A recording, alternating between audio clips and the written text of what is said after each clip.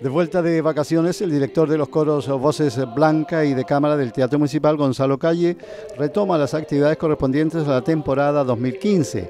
Nos informó que este año se cumplen 26 años de los coros, siendo creados en el bicentenario del Teatro Municipal. El 23 y el jueves 26, a partir de las 20 horas, recibimos a todos los cantantes. El coro Voces Blanca participan niños entre 7 y 15 años de edad y el coro de cámara de 15 años y sin límite de edad. Nunca es tarde para volver a la música, reencantarse, retomar la actividad musical, porque hay memoria para todo. Hay una memoria musical, hay una memoria vocal y nosotros estamos siempre dispuestos a enseñarles a cantar y por supuesto a estrenar e interpretar las mejores obras del mundo.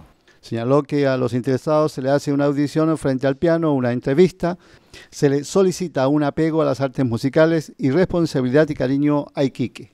Estamos inmediatamente en mayo con nuestros conciertos que transmite RTC, homenaje al Capitán Pratt, los himnos heroicos de la radio Iquique, en el mes de julio los famosos gospel y la música pop, en septiembre nuestro tercer concierto una ofrenda musical a Chile que nos acompaña la banda del ejército y en mayo por supuesto nos acompaña la banda de la Armada.